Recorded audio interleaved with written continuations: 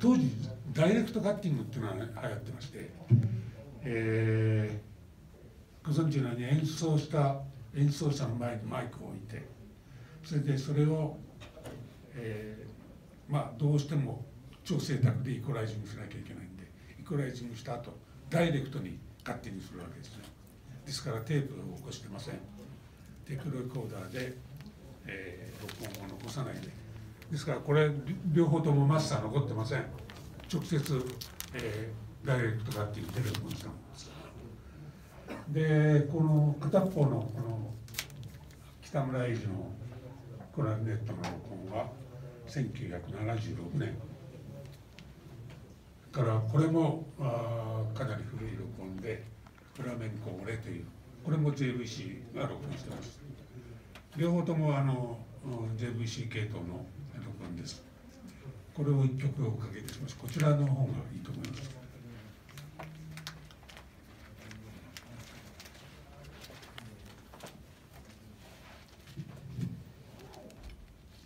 でこれはあの一曲かけるのは白番ですからサンプルで起こした、えー、最初のプレスです。ものすごくいい状態のあのプレスですね。ご存知のようにあの一番最初バージンでプレスするのが白番と言いますで後で発売するとあれに赤いカラーとか模様がついて最終的に発売されるんですけど、えー、これをちょっとかけてみましょう。エアフォースワンの音がいいのかそれともレコードがいいのかとにかく素晴らしい音で録音されています。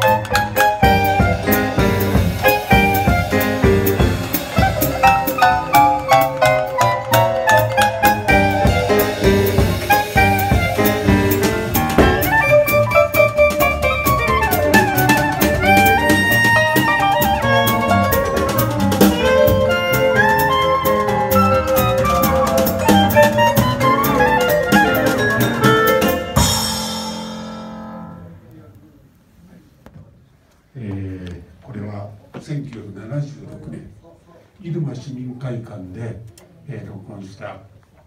ダイレクトカッティングをしたものです、えー、これは今あのミキサーズラボの録音の担当されてる、えー、一沼さんの傑作録音ですね、えー、これテープで起こしてませんので残ってませんけどもだからこれをまた発売することはできませんけども、えー、この録音は多分当時のものすごくお金と暇と労力をかけて録音された傑作録音だと思います、えー、アナログはご存知のように非常に奥深いですから、えー、ただポッと聞いて、えー、あこれこれアナログ CD の方がいいねという方もいると思いますけども、えー、深掘りしてみてください。どんどんどんどんハマってきますから。ハマったら最後ですよ。大変ですよ。アナログはお金かかりますから。はいそれでは次行きましょう。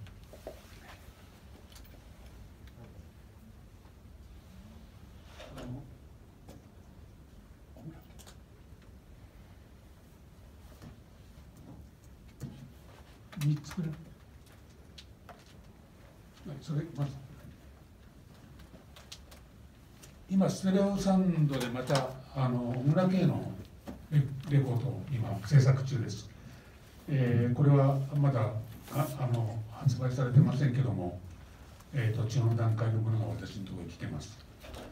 えー、一番最初ステレオサンドももう一つあありまして、えー、ここに「さまよい」というタイトルでありますけどもこれは私ども一緒にステレオサンドと共同企画して発売したものです。で今回、えー、ステレオサンドがあ画してこれは私どもが一緒に企画してませんけども A 面と B 面あって B 面があの素晴らしい曲が入ってます、えー、例の小村家が1976年に NHK ホールでコンサートを開いた時の、えー、録音ですけどもそれがここにぎっしり入ってます。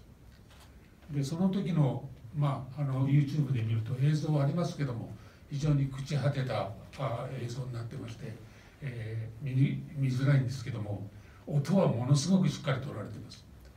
えー、これの1曲目をちょっとかけていただかけてその後、えー、1回目に作った「さまよい」という中からあ奇跡的にラッカー版が残ってまして、えー、というよりは私がもう大事に大事に保管してたラッカー版があります。それをおかけしてみます。じゃあまず NHK ホール1976年の、えー、小倉慶のコンサートそこから1曲お送りしましょう。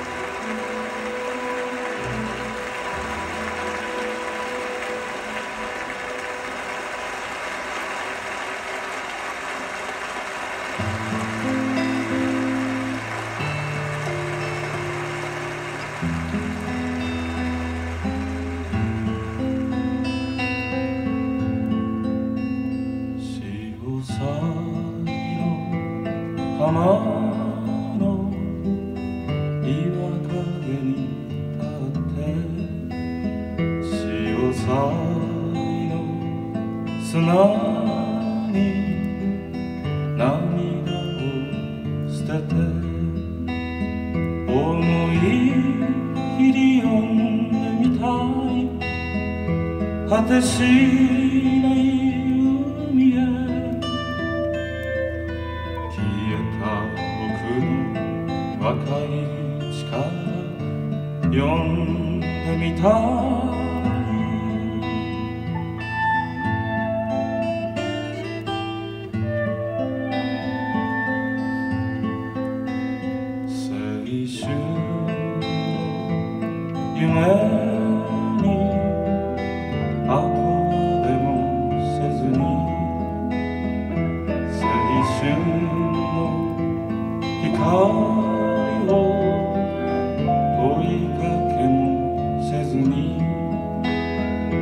流れていた時を果てしない海へ消えた僕の赤い力呼んでみたい恋でもなんで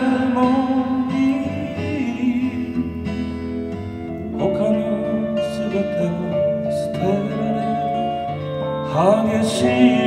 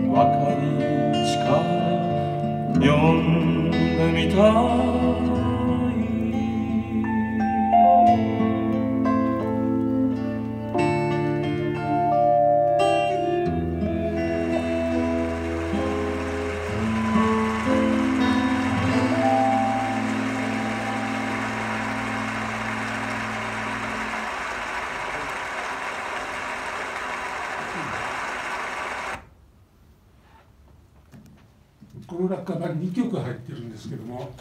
もう1曲目は溝が潰れちゃって、えー、演奏できません、えー、何回もかければ潰れていくしそれから湿度が増えて保管してるとどんどんおかしくなってきます。で2番目は幸いにしてあまりかけなかったからこのまま保存してたんですけどもこの会場で今年はもう3回目かけますからそろそろやばい音になってますけどもまあ明日はもう無理かも分かりませんけど今日これ聞いていただいて、えー、捨てることになると思います。では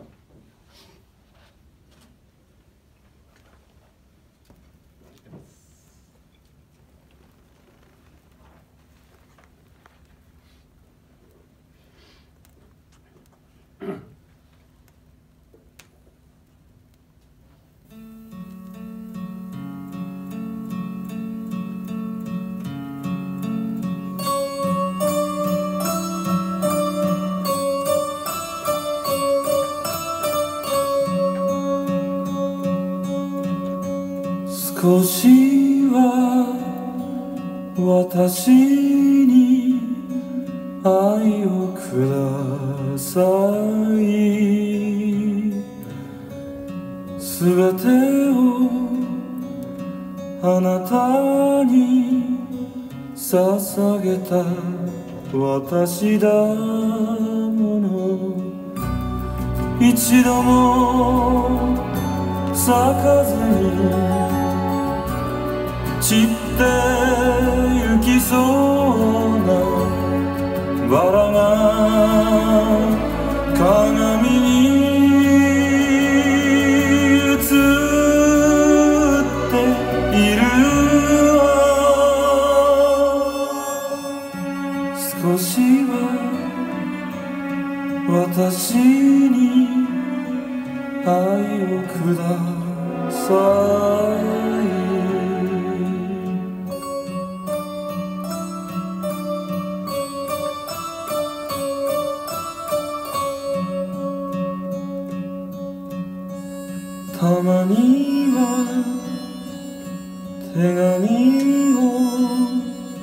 書いてください。いつでもあなたを思う私だもの。あなたの心のほんの片隅。私の名前を残してほしいの。たまには手紙を書いてください。みぞれ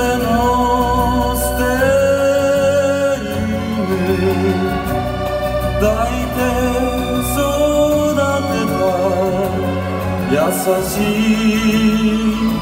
あなたを思い出しているの。少しは私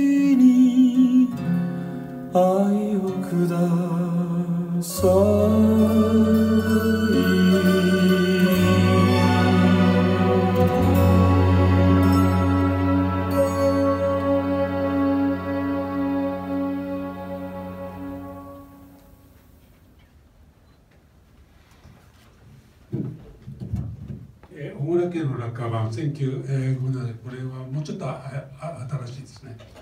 で私の方が前回ステラさんと、えー、タイアップして発売した落下版あのアルバムですけども。これの CD 版が去年出ました。あ多分同じ、えー、マスタリングだと思いますけども CD 版が出ましたので皆さん声求めていきます。えーとそれでは次に今日はいろんなあのレコードをかけていきたいんですけどもまああのエアホースゼロのことについてもいろいろノウハウを誓ってますのでその件についてもいろいろご説明したいと思いますけど何せ皆さんに音を聞いていただければエアホースゼロの真髄が分かると思いますのでできるだけソフトをかけています。で内容について後でご質問ありましたらどうぞ私の方に、えー、お越しいただければと思います。それではもう一枚書きましょう。スキーという有名な指揮者がいまして、えー、彼もあのクラシックの指揮者なんですけどもちょっと,、えーと、と一般的に受けするクラシック音楽を主に録音してました。で所属は RCA ビクタ。ー1961年に、えー、録音されたものなんですけども。ですからステレオが前線になる頃ですね。そろそろステレオが始まった頃の録音です。でこれが、えー、今現在はあのこのビクター関係はソニーミュージックが版権を持ってまして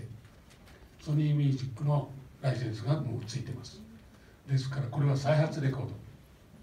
オリジナルではありません。でもこっちの方が僕はいいんじゃないかと思うぐらいの音で仕上がっています。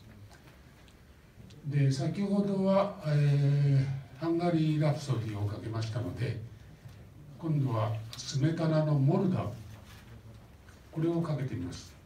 えー、すごく遠近感が出てると思います。あごめんすみません。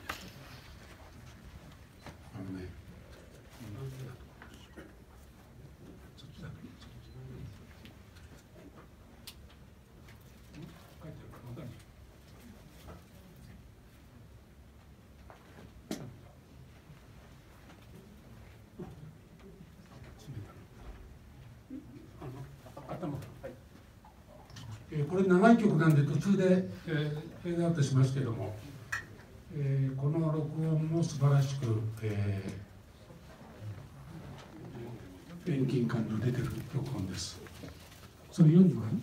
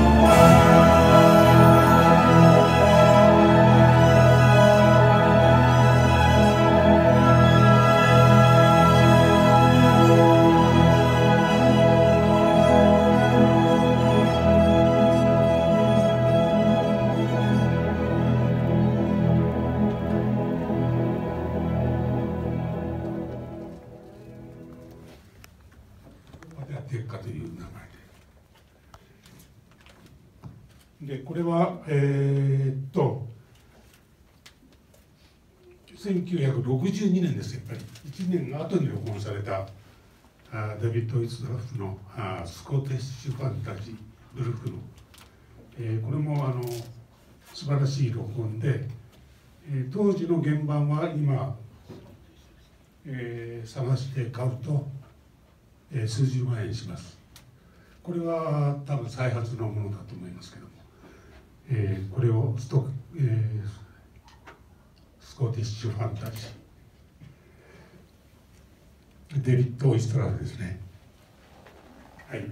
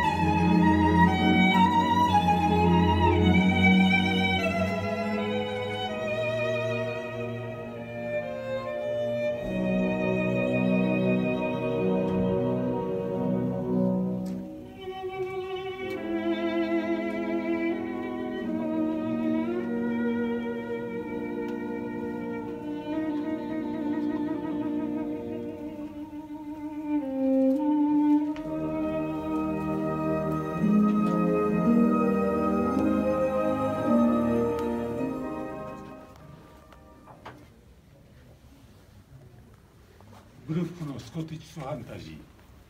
えー、デビッド・オイストラフです、えー、素晴らしくよく撮れているレコードですけども、えー、残念ながら再発のプレスが良くないんですね、えー、ノイズが一緒に練り込まれてしまってますので、えー、もうちょっとあの時期をずらして買われるといいと思います。もう一回これプレイすると思いますので。さてじゃあお待たせしました。劣化版に行きましょう。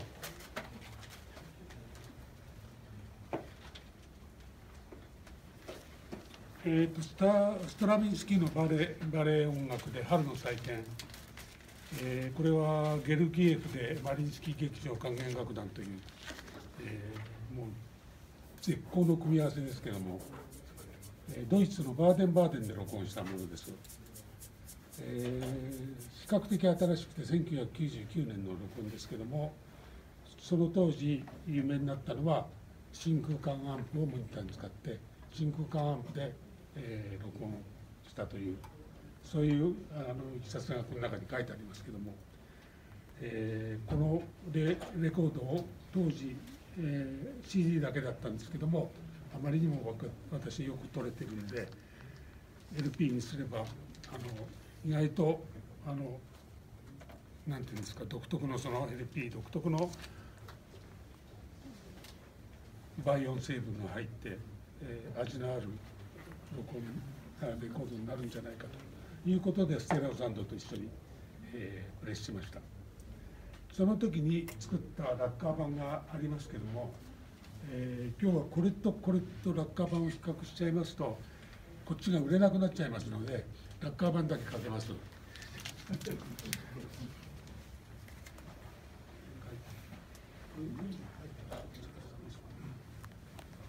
途中からちょっと時間があれなんで。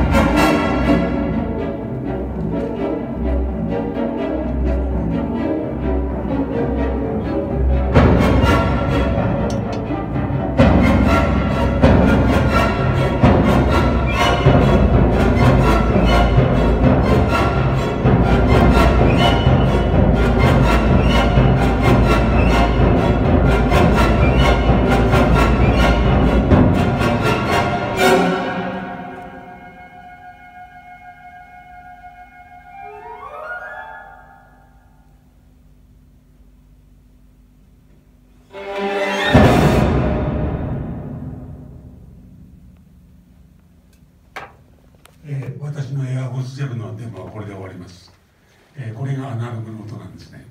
よーく皆さん耳の中へ留めておいてくださいどうもありがとうございました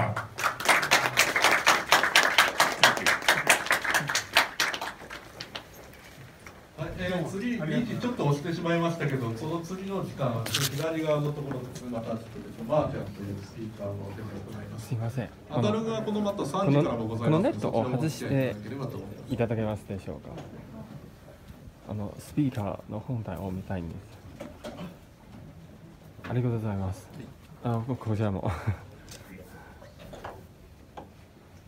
ちなみに何のこういう方式ですか？それぞれのボックスが独立されるんです。そうですねで、はいし振動のためですか？それとも。まあもちろん振動のためですね。